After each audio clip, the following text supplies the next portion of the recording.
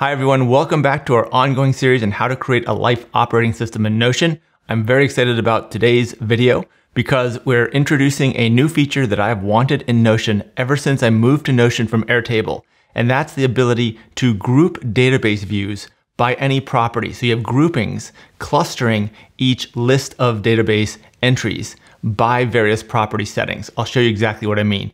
But this is something inherent in Airtable from the beginning, at least from the beginning of when I used it. And I really missed it coming into Notion. But not only has Notion brought this capability into Notion databases, but it has taken it several steps further, with each grouping being a toggle and the ability to apply this not only to tables, but also to gallery view, timeline view, lists, and so many more other ways to view the data and still get that grouping by various property settings. So let's dive right in. I'll show you exactly what I mean and why I'm so excited about it. Then after I show you how it works, I'll talk a little bit about where I see this being valuable in the Pillars, Pipelines, and Vault system, or really any comprehensive system using Notion. So let's dive right in. So here's a standard Notion table with lots of data entered. And that's where it becomes valuable when you have larger collections of data that are grouped by different types, for example. So you have a single select here. This is a duplication of the standard PPV tools and services database, but just for the purpose of a demonstration with a database that has a lot of entries in it. So it could be any database, it doesn't matter. I'll just use this as an example. But this one has this selector here that identifies each by type, which will be useful as we start grouping. So you go down and you have all these entries by type. So now we have this new group feature over here, and that's where we're going to get this new grouping capability. First, I'm going to jump in and show you examples of what it looks like after it's been done, and then I'll show you from scratch how to do it because it's really simple. So first we'll go to table view, and you can apply this in many different types of views, not just table view. But this is the grouping already applied, so grouping is turned on, and we're not hiding empty groups here, but we can, that's a good thing to do and it's organized by whichever property you set. That's what it will group by. So we have set it to be grouped by type, which is this property of the type of entry it is. It's organized by various types. Each is under a toggle. You open the toggle, you get all the entries under that grouping.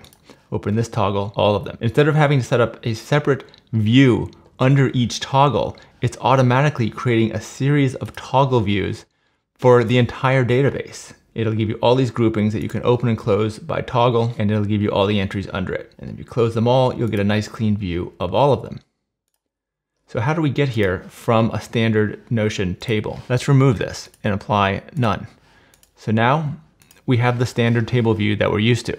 All you have to do is click group, choose what you want to group it by, in our case, type. This will give you all these different selectors to choose from. I would recommend hiding the groups that are empty. It'll automatically give you a toggle and an entry for all of the types that you have set or whatever property you chose to group it by. And then you open and close them as you go. It's a brilliant way to very simply and easily get an organized view of all of your data, especially in larger databases where you have multiple items attached to different properties, such as a type or a status. You could similarly do this by status.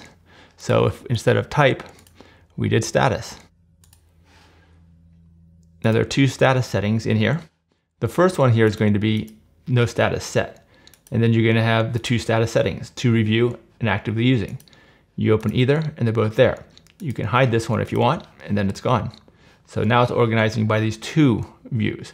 I find it's more useful when you have multiple groupings, but you know, it depends on your need. And you can very easily switch it back to type which I think is the optimal way to break this out into categories. Now, jumping on, we can also do this in list view. It's the exact same thing. So here we're in list view. If you open it up, you'll see each one is in list view. Exact same thing. All of these groupings organized by whatever property you choose. Again, we chose type. It could be anything. The way we did this is the same as the other one. So we went from none to changing it to type or whatever property you want to group by. And again, I like to hide the no type, but it might be useful to have no type listed there if you want to make sure everything has a type. That'll identify the ones that need to be assigned a type. So moving on from list view, we can do this in gallery view. Same thing. Now we've got gallery view organized by these different categories, each under a toggle. So each is under a different grouping of a property selector and it organizes the collections that way. This way is so fast and effortless, and it just looks great when it's organized that way. All right, moving on beyond gallery view, we have board view. Board view has an extra bonus capability because board view is essentially already organized by groupings across the board settings on top. Now here we have these organized by, the grouping is set by type. So the categories here are by type. But then we have subset, you have a new feature here called subgrouping, and you can have a second grouping. The first one will be the columns, as with any board view. The second subgroup will be these toggles down here, which will be similar to what we've just seen in terms of the grouping. So on the board view, the initial grouping is the columns. The second subgrouping is the vertical toggle categories that we have set. It's just a great way to add an additional organization to board views beyond just the columns. And the way you do that, again, is you just set the type here. Now, the type will be just as you've always done. This is not new in board view. What's new in board view is the subgroup. Here you can turn it on or off. Normal board view, if you want to turn it to a second organization setting, in our case, we will look at status. So that gives us the to review category and the actively using category and a no status, which will tell you which ones need to be assigned a status if you want them to have a status. Otherwise, you can just hide it and it's just the two that you're interested in. And then finally, we have the timeline view, which also gives us the same groupings. Here the toggles are closed, but as you open each one, you get all of the ones that are set with dates. So you'd set the dates as you would with any timeline view, but it's now grouping them by whatever you choose to group them by, in this case, type. Now, in order to not show all of the ones that didn't have dates, I added a filter here. Date is not empty. Without this, it'll show all of the ones that whether they have dates or not. And that's not very useful in timeline view. You just want to see the ones that do have dates. So you want to filter, since timeline view will be based on a date, there will always be a date property. And you want to set that it's not empty. Then that's going to only show the ones that have a date and those you can organize and sort just as always with timeline view.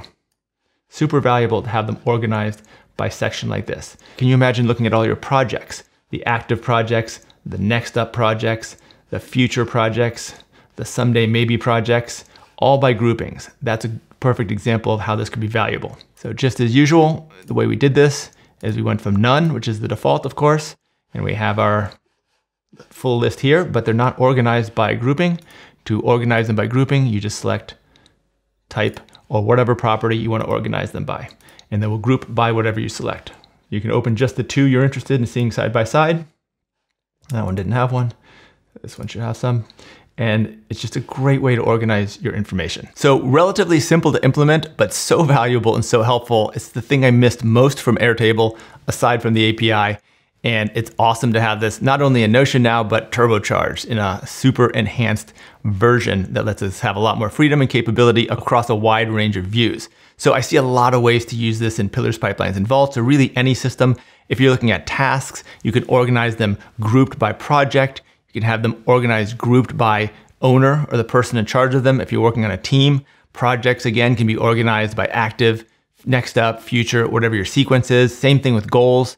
You can have your habits and routines grouped by bundles. We talked about bundling habits and routines together to introduce new ones and attaching them to the same time period, the same group. When you do something that you're already good at doing, you add a new habit to do with it. Instead of trying to do it on its own, you bundle it with another habit.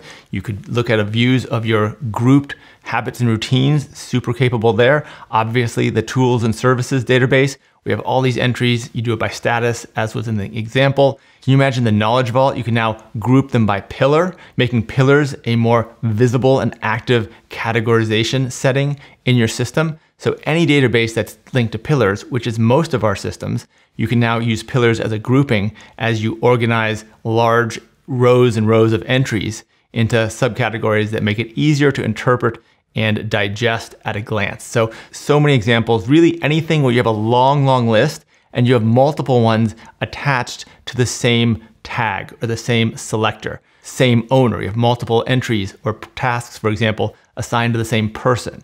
Anything that you have multiple entries assigned to a certain property, you can now group the view by that property, making it so much more digestible and actionable. That's why I'm so excited about this. Hope you put it to good use in your system. If you have any additional ideas, share them in the comments below. Let's make a list of all the possibilities we can do with this new feature. Go ahead and experiment and let me know what you come up with. I have a ton of new videos planned in the pipeline, so if this is of interest, be sure to hit the subscribe button and the bell icon to get updates on future videos.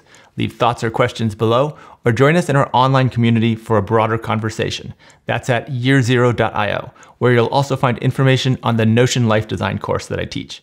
And please hit like if you found this video valuable. I also read a newsletter on increasing human capability. I give away several of my best Notion templates to anyone who subscribes to the newsletter. You can, of course, unsubscribe at any time, but I hope you'll give it a chance. I work super hard to pack it with a lot of valuable insight. The newsletter link is also below in the show notes.